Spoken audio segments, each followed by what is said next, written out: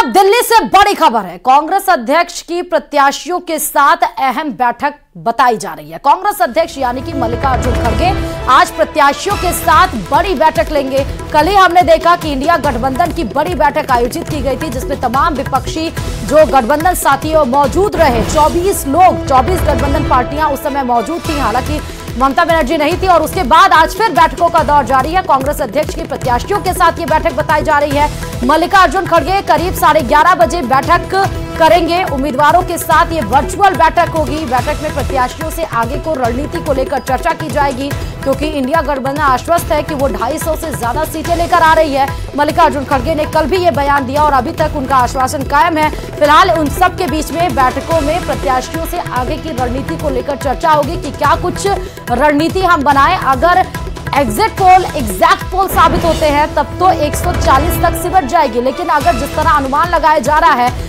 Exit poll अगर exact पोल साबित नहीं होते हैं तो 250 से सीटें अगर प्लस लेकर आ रही है तो उस बीच में रणनीति बनानी अहम हो जाती है। इसीलिए आज वर्चुअली तौर पर प्रत्याशियों के साथ ये साढ़े ग्यारह बजे बैठक आयोजित की जाएगी। मल्लिकार्जुन खड़गे इसको लीड करेंगे। प्रत्याशियों के साथ अहम ये रणनीति बनाई जाएगी। इसको लेकर चर्चा की जाएगी।